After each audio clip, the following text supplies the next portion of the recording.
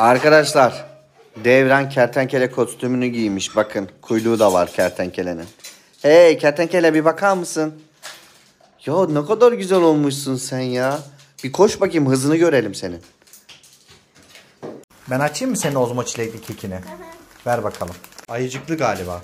Peki sen ister misin? sen yiyor musun? Ozmo çilekli kek arkadaşlar. Bunu sizin için yiyorum.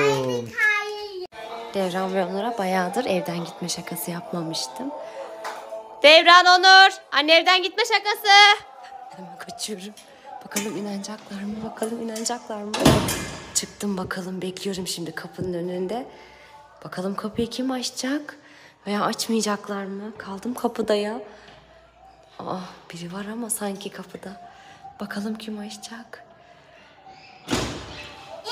İnanmadın mı ya? Niye inanmıyorsun?